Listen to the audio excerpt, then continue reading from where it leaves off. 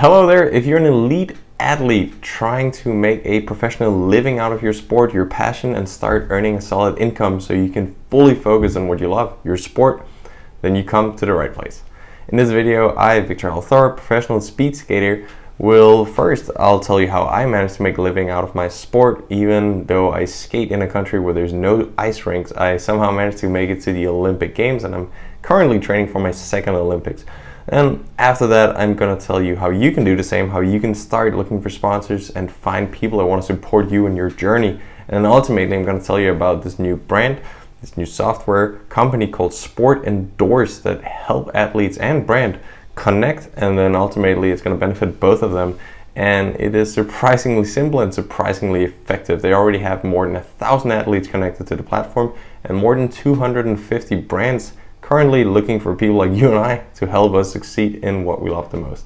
So in my specific case, I had to learn the hard way because there was no Sport Endorse at the time. There was no companies or this kind of crowd agencies helping you build your brand and helping you connecting with sponsors. And obviously, when you spend all your time trying to be as good as a sport as you can, you don't have the time to take a marketing career or dig into how to be your own agent at the same time. So it's always going to be a struggle unless you find people to cooperate with that can help you get your name out there and start building more of a story, more of a brand, and connect you with the people that can help you pursue your goals and reach them.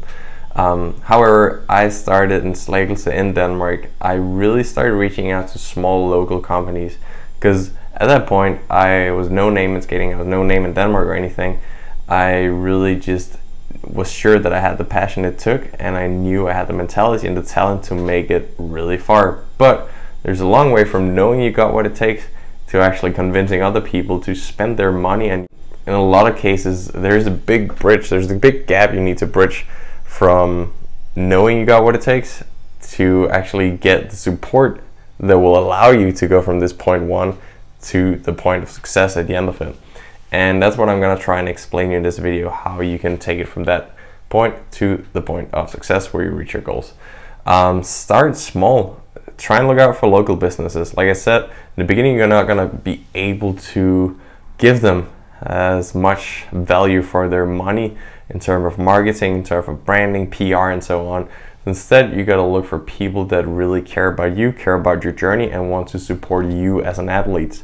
So when you send emails out or if you reach out to them on Facebook, Instagram, whatever, if you drive by their headquarters, their office, and, and literally ask them to help you and beg for help, don't try and oversell like, oh, I can do this, you can get so many views, so many new customers, and so on at the beginning, because they probably know that if they really want that, unless you're a big name in sports, they can just do some, some like put some money in, in Google branding and SEO and in other ways where they can get more clients, more views, and more um, more publicity out of their money.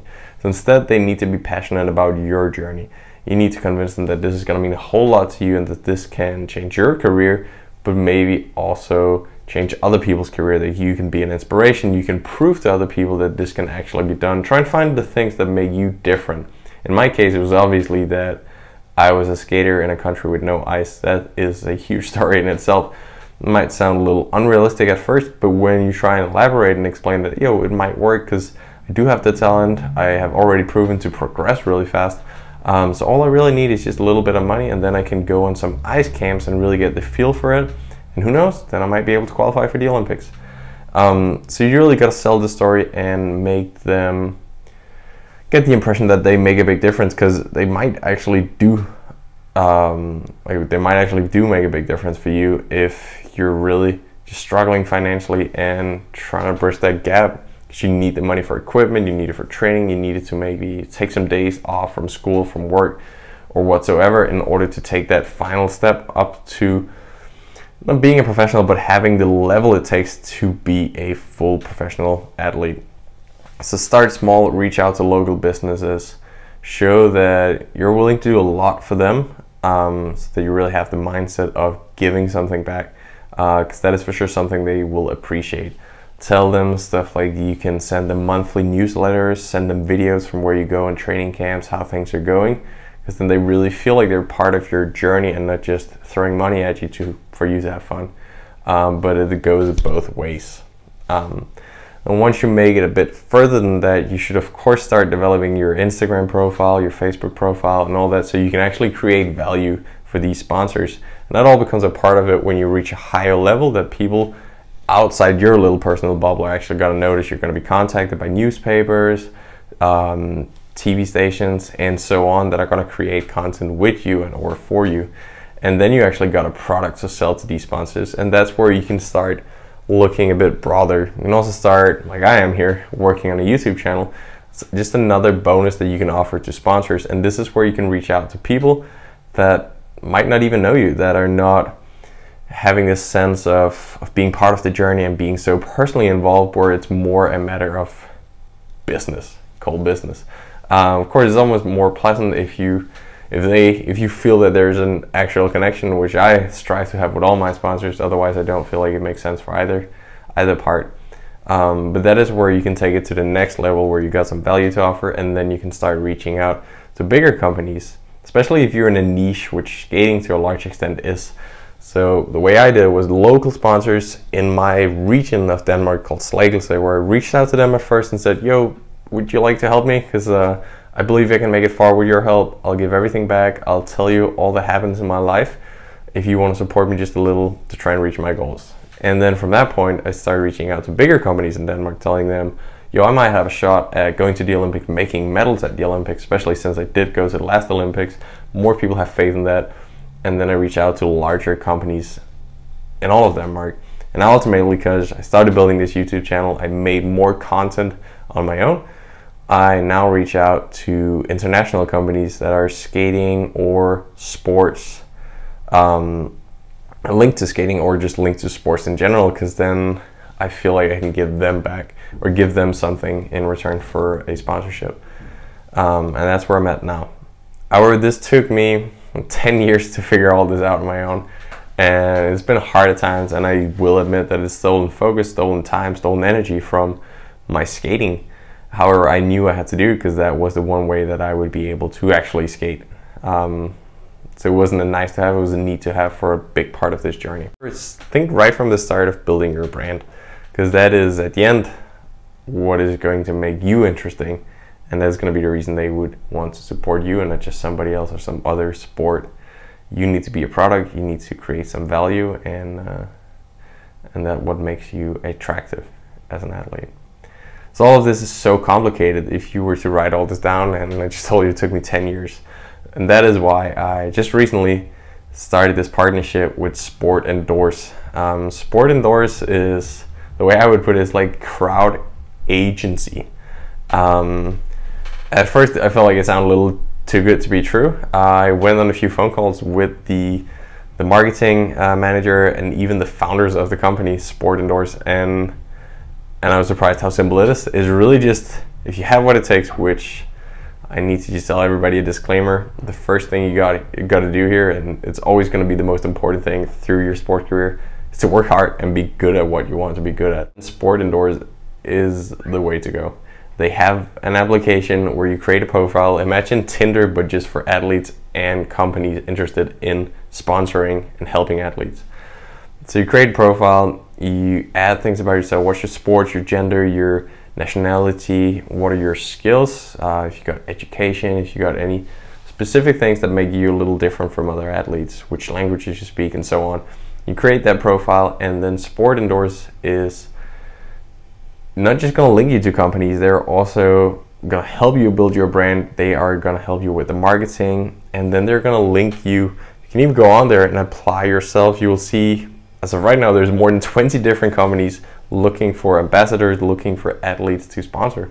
And you can go on there and you can just apply for different sponsorships, and everything goes through this one little application, which is impressive in itself. Um, but then it's just going to connect you with these brands. Uh, I went on there yesterday, looked for some of them, um, and just to give you an idea of what it is, I, I, will show some screen stuff here so you can see the, um, the different amounts and different companies. These are just some examples. Um, it can be all kind of things, and the cool thing is you can pick, you get to pick first, um, and then you just apply. The companies will see that, and then they're going to select their ambassadors. And some things that are really cool is that it's it's very legit. Um, you get the sensation that you actually have an agent sitting there because there's a lot of people there and they're always ready to support you if anything were to happen. There is a verification service so you know it's the legit company. If you're sitting there chat, chatting with Nike, it is going to be Nike and same way around, they will know that you are Viktor Hald Thorup or whatever your name is.